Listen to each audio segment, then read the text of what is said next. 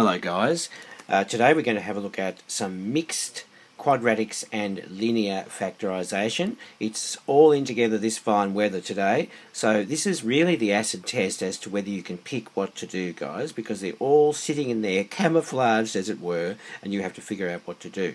So there's uh, quite a number of them to do, let's get going, and I want you to pause the video on each occasion before I show you what to do and I want you to try before I show you because that's really the most effective way for you to learn okay? Alright example 1 uh, we've got the following to factorize okay? Pause the video come back when you're ready okay? See you soon. Alright you're back. Now number A 4x minus 16 that's a linear one guys. Can you spot the common factor? Common factor is 4 okay? So it's 4 into x minus 4. That's a linear one. Okay, did you get it? Good for you if you did. Uh, if not, just uh, check it out, have another go, and you'll get confident.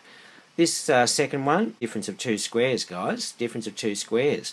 That is x squared minus 11 squared, which gets you x minus 11 times x plus 11. Okay, very good. What about number C now? This one, hmm, well, I think I spot some grouping to do here, don't you? Uh, definitely. There's nothing squared, so it's not a quadratic, it's a linear kind of thing. Grouping would be the way to go, I would think. So let's see how I did this one. Uh, I've rearranged them after I had a bit of a look at it.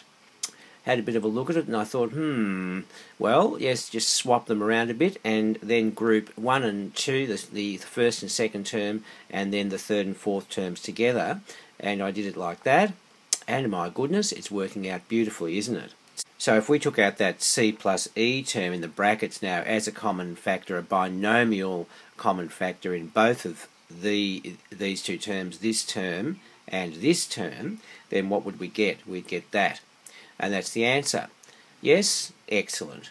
Alright, uh, let's do D now. D is a classic quadratic trinomial, isn't it? So let's think about that. Now, can you think of factors of 20 which can add or subtract to get 1?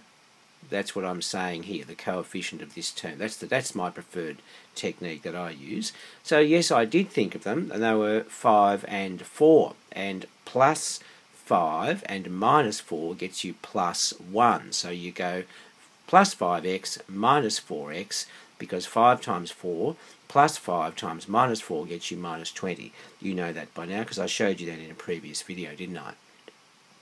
Now you do the old group trick. So you go x into the uh, x plus 5, that's the first two terms taken care of, and then minus 4, usually I take the minus, the minus and the 4 out here if there's a minus there, minus 4 into x plus 5, you change the sign of the terms in the brackets. So what have we got here? A common factor again, x plus 5, x plus 5 to keep us alive, and let's thrive and take it out. So we've got x plus 5 uh, is in common, and then x is left from here, and minus 4 is left from there. So that's what we get, and Mr. Box, thank you so much for your faithful, dedicated service. Now, we've got E to do now. Oh, I showed you the answer straight away. Uh, yeah, common factor. Common factor. Uh, 7x into 5x. Do you get that? Multiply it out again in your mind to make sure I'm right. It is 35x squared, isn't it? Yes, and then minus 1. So that's the answer to that one. Okay, we're going uh, very well here. We're running hot, guys. So let's do some more.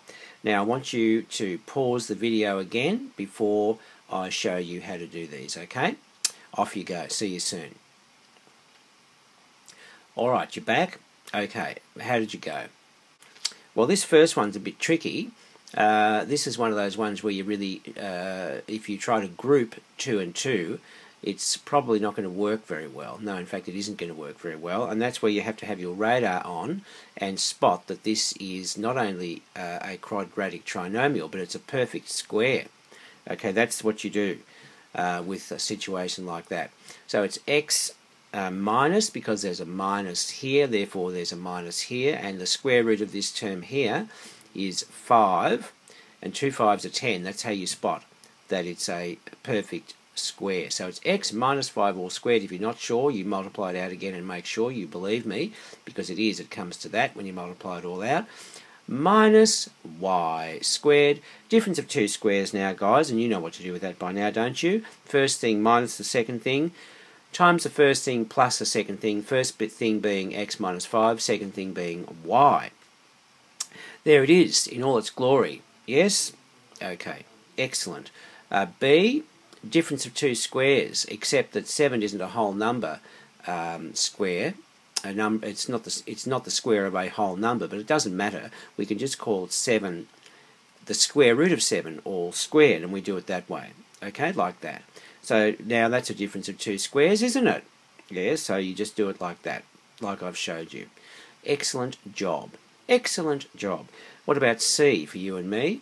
Mm, quadratic trinomial. 11 times 1 is 11, and you can get from 11 and 1, you can get 10, can't you? Yes, so I think this is a whole number factoring one. It's a beautiful, uh, beautiful, and it goes like this. Okay, plus 11x minus x gets plus 10x, and, and 11 times 1 gets 11. Uh, and you need this one to be the plus and this one to be the minus to get the plus 10 happening up here.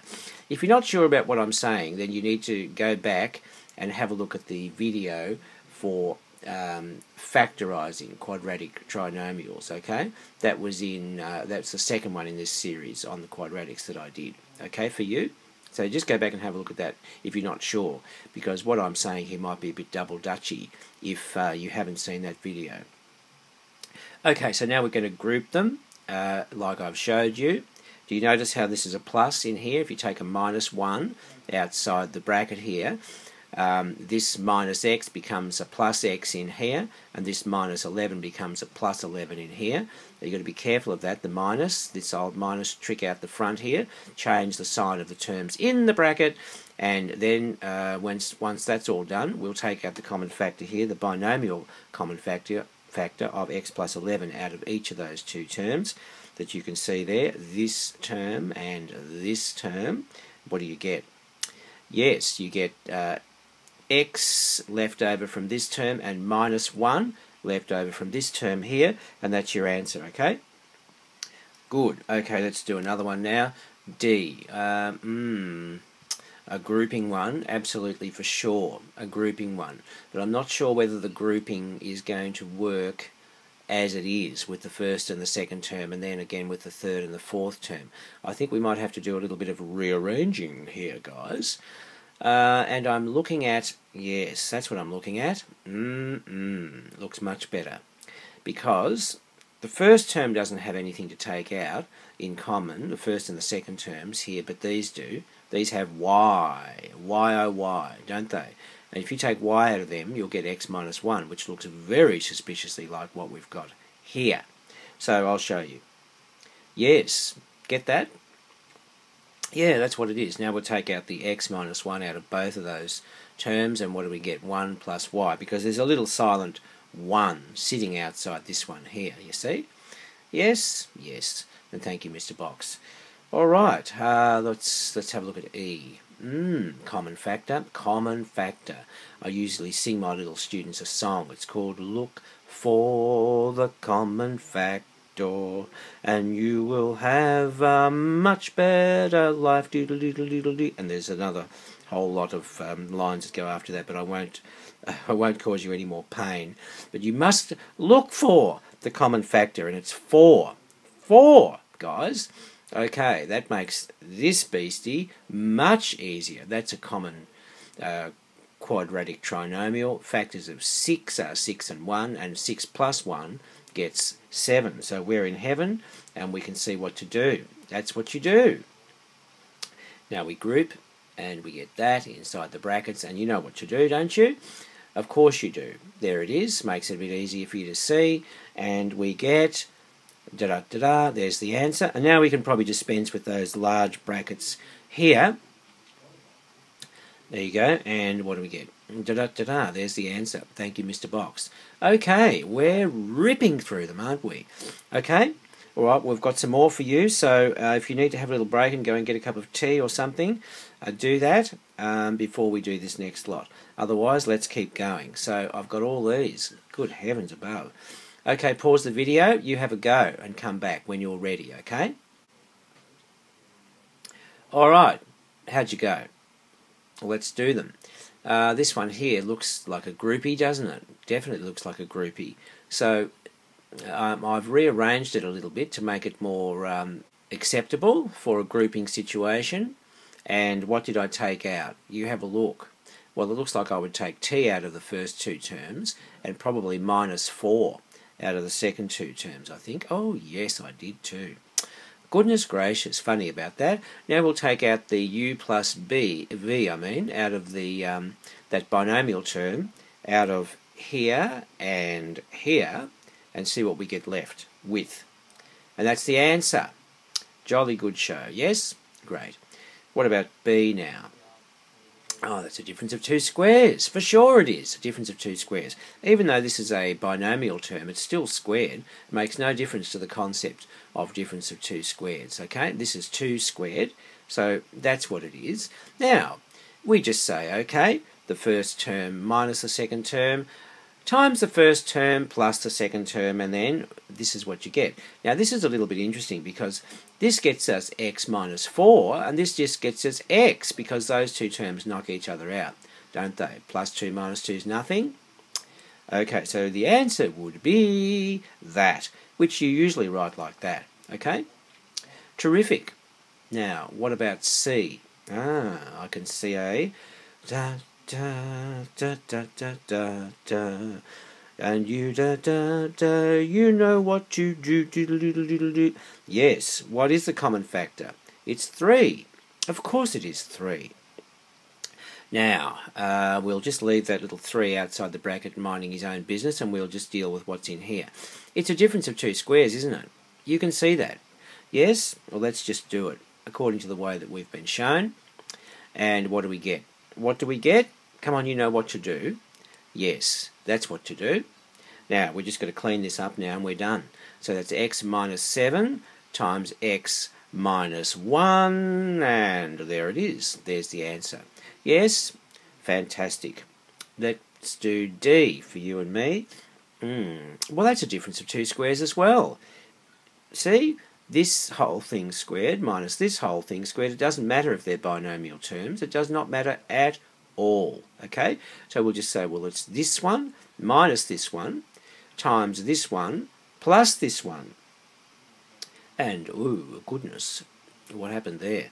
Oh, yes, well, I've done a square bracket just to sort of so I don't get too messed up here because there's brackets everywhere. So it's the first one minus the second one times the first one plus the second one. And that gets us, if I start just uh, getting back to normal looking brackets and just take away this bracket here and be very careful when taking away this bracket here because you get minus 3x minus y. Remember when you're multiplying that, that bracket out uh, please don't get that wrong. You've got to get those minuses sorted out. Now this is x plus 3y plus 3x plus y. Now we just got to clean it up guys. So it's just um, cleaning up your like terms so that would be minus 2x plus 2y, yes, and that would be 4x plus 4y, and I can see common factors again. Oh goodness, there's 2 in this one and this one, and there's 4 in this one and this one, isn't there? So let's just fix that up. Yes, that's right. So I took a minus 2 out there. So remembering to change this to a minus y in here, just, if you're not sure, multiply it out again and make sure it works. This is 4 times x plus y. Alright, now that's alright. Now we're going to multiply this minus 2 by this plus 4 and put the number out the front, which is what we usually do. So it'll be minus 8 x minus y times x plus y. And it is factorized to within an inch of its life, yeah? To within an inch of its life. Okay, you happy? Did you get that? Hmm, well, it's good practice, isn't it? So here's E for you and me. Oh, good heavens. What's this?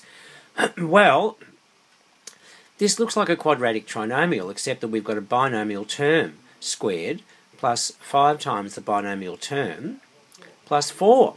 what I usually tell my students to do in situations like this is just avoid the horrible complication and just call this binomial term something else and just re-express it in terms of the new term that you call this x minus 2. You could call it u, for example, okay?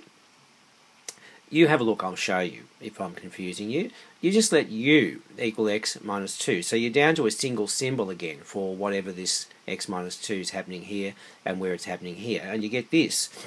Now that's much easier to factorise, isn't it? It's a quadratic trinomial, which will be very easy to see. Factors of 4 would be 4 and 1, because they add up to 5. So you write it like that, as I've showed you, and then you group. Okay? You get that. Now, uh, when we take out this common factor here, this u plus 4 from here and from here, there's a little silent plus 1 sitting there. Okay, 1 times u plus 4. So you get, yes, that's right, and you get, um, you get that. Now, okay, now, when you're out of danger and you've got the whole thing factorised, remembering that we made up um, u out of our own imagination, it was really x minus 2. So now when it's safe to do so, we can substitute back what u was. Okay, now let's do that. Oh, goodness, and a little bit of cleaning up and we're done, guys. So that's going to be x plus 2 times x minus 1, and that was lots of fun, a ton of fun. Well, you probably don't agree, but when you get good at them, they are. They're really a ton of fun. Uh, that's example three. My goodness, we demolished it, didn't we? Now, I think there's one more to go, so you better pause the video and uh, have a go before I reveal them to you. Oh my goodness, they look very, very awful. So, come on, grit your teeth and have a go and make fun out of them, okay? Alright, um, how did you go? Yes, they look uh, disgusting, but they're okay actually. They're friendly. They're really, really friendly. So I'll show you how I did them. Uh, what I did was I factorised this beast here into this, okay? I factorised this one here into this. Now this one here, this x squared minus 9 is a difference of two squares, and this one here, this thing here, is another quadratic trinomial. Now, when you do that, uh, now we do cancellation city. we cancel everything that can cancel, but you can only cancel a whole a whole binomial term with another whole binomial term. You can't go separating the x's or the numbers and just cancel those uh, out individually because that is the worst thing you could ever do. It's the cardinal sin of algebra. So don't commit to the cardinal sin of algebra. So this is what you do, I'll show you. Okay, they cancel out. The x minus 3 cancels top and bottom, okay? The whole lot of it with itself, right? Now, are there any more that you can see that would cancel? Well, there is something else. There's this, right? That cancels out. Now, um, okay, so what are we left with here? We've got an x minus 2. There's no x minus 2s on the bottom, so that guy stays.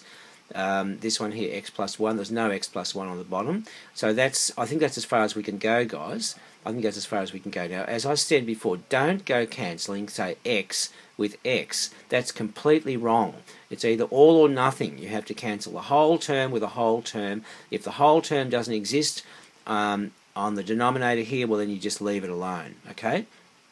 So we just gather up what we've got left with, and we express it like that. That's the answer. Don't multiply it out again, just leave it like that. That's fine. That's a factorized, very neatly, nicely little packaged up answer. Okay? Alright, very good. What about B? Now B is, um, is very, very um, tricky because of this dividing sign here. This dividing sign, the first thing you do, the first thing you do before you do anything else is you write it out as a multiply. And when you're dividing by a fraction, which we are here, you have to invert the fraction, turn it upside down and turn the divide sign into a multiply. So this denominator goes on the numerator, and this numerator goes on the denominator.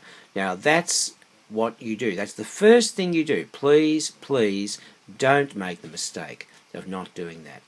Okay, now we're going to factorise the whole thing now. That's a perfect square. That's x plus 5 all squared. This thing's a quadratic trinomial, which is this beastie here. Okay, Did you get that? Good. This one here's another perfect square. Uh, it's x plus 2 all squared. And this one here's another quadratic trinomial which uh, factorizes to this. Now, it's time for cancellation city. Guys, have a look. Cancellation throughout the nation. What would you like to cancel first? Well, I think I'd like to cancel those two. The x plus 5s. Uh, is there anything else? Just scanning it. Yes, there is something else. Goodness. Uh, those x plus 2s will go. And I also think there's something else, isn't there? Yes, the x plus x minus 1s will go. Heavens, it just about all went, didn't it? And we've just got left with x plus 5 on the top and x plus 2 on the bottom, and that's our answer. And thank you, Mr. Box. All right, how did you go? Did you get some value out of this today? I hope so. That's the end of our little show. Uh, you need to do a lot of practice though to get really good at, at these because these are the language of maths. They are abstract and they give students a lot of trouble. So do yourself a favour and train that beautiful adaptable brain of yours on how to do these by doing lots of practice, okay? And we'll see you soon. Thanks for coming and all the best.